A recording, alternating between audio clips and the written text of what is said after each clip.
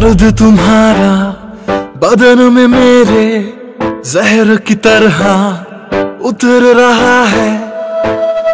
बेख्याली में भी तेरा ही ख्याल रे क्यों बिछड़ना है ज़रूरी ये सवाल है?